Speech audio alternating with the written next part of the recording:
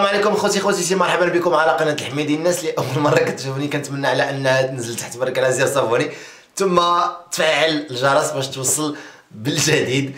آه إذا في هذه الحلقة آه غادي نتكلم وغادي نخصصها للحديث على الناس اللي آه ما عندهم حتى فكرة على اللغة العربية وغادي يديروا إن شاء الله بكالوريا حرة. خصوصا يعني آه الناس يعني اللي منقطعين على الدراسة بواحد سنين أو لا يعني اللي خداو الباك ديالهم آه، في علوم أو لا إلى غير ذلك وبغاو يديروا يعني بكالوريا حرة في الآداب.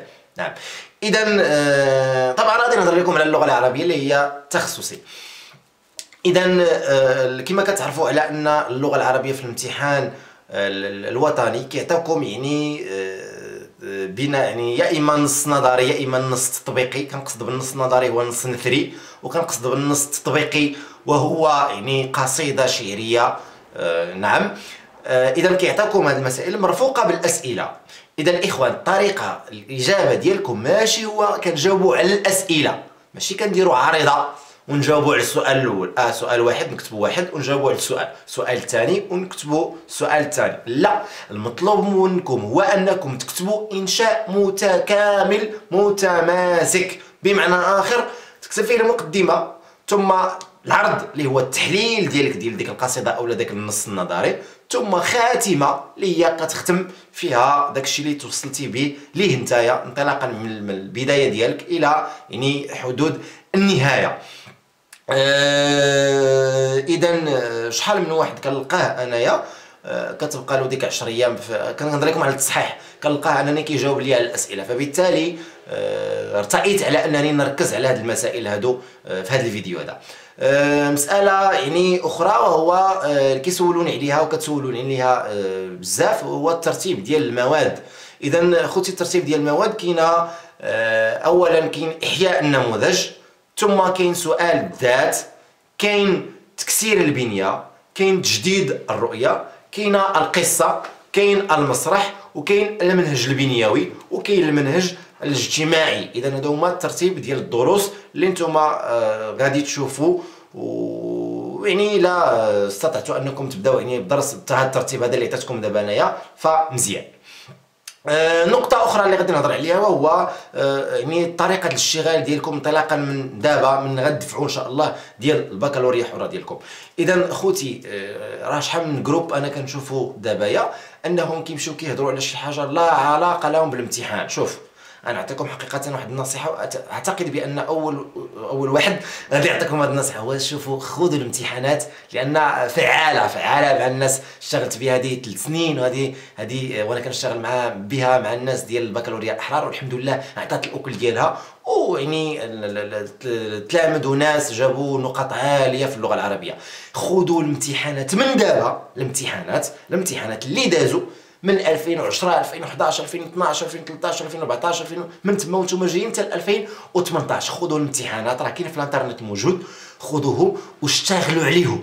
ها مثلا غادي ناخذ هادو آه، ديال إحياء نموذج. غناخذ مثلا شي خمسة ولا ستة سواء في النص النظري أو النص التطبيقي وشوفوا معايا شوفوا معايا. الله يرحم لكم الوالدين خذوا المسائل وركزوا عليها. خذوا مثلا واحد واحد واحد اربعه ديال ديال ديال ديال ديال النماذج ديال الامتحان في النص التطبيقي النص التطبيقي كنهضر على القصيدة.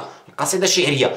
وسير معايا للاسئله سير معايا للاسئله ديالها. غتلقى الأسئلة كتكرر آه، نفس الأسئلة كتعاود. إذا فبالتالي شنو خصك دير أنت؟ كتمشي كتخدم على على هذوك الأسئلة كتخدم عليهم. طبعا في إنشاء متكامل. طبعا إنشاء متكامل. مثلا غيعطيك احياء النموذج كيقول لك مثلا في, أول حاجة كيقول لك وتختار النص ضمن سياقه الثقافي والأدبي. آه دونك هنا كيحتاجوا المقدمه إذا شنو هي المقدمة ديال إحياء النموذج؟ وكترجع للمقدمة ديال إحياء النموذج. هنا شنو كتكون درتي؟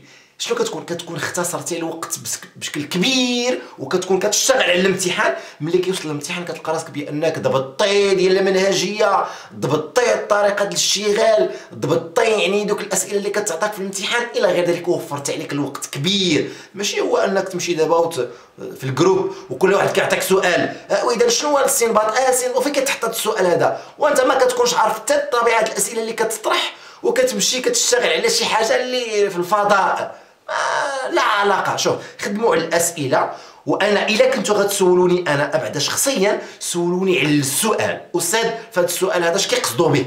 ها؟ وبالتالي غادي نجاوبك أنا جواب يعني يكون صريح. ماشي أن كيطرحوا شي أسئلة ولا علاقة أسئلة اللي كيقراوها الناس ديال الأولى إعدادي ولا الثانية. الثانية إعدادي ولا الأسئلة ديال الأولى باك ولا الثانية باك؟ ما كاين بعض كاين بعض حقيقة بعض الأسئلة اللي اللي, اللي اعتبار ما, ما غير هكا كتسولوا غير هكاك بطريقة يعني هكاك وصافي. وما غتفيدكم في والو. خلاصة ما هذيك الأسئلة ما ما غتفيد حتى حاجة. واخا أنت عرفتي ولا هذا ما يفيدكش في الامتحان. طبعا اذا خوتي خواتاتي كنتمنى على أنكم تكونوا آه، آه، استفدتوا معايا وما تنساوش لي like لأن ال like حقيقة هو اللي كيساعدنا أننا باش نزيدوا نعطيو اللي في جهدنا واللي ما في جهدناش. وأيضا تبارطاجيو الفيديو مع أخوتكم ومرحبا بالأسئلة ديالكم. طبعا آه، سواء في الإنستغرام أو لا سواء يعني في الفيسبوك آه، سواء يعني في هنا في لاشين ديالنا ديال اليوتيوب. اذا خوتي خوتي أتمنى لكم واحد موفق وإلى الحلقة القادمة إن شاء الله.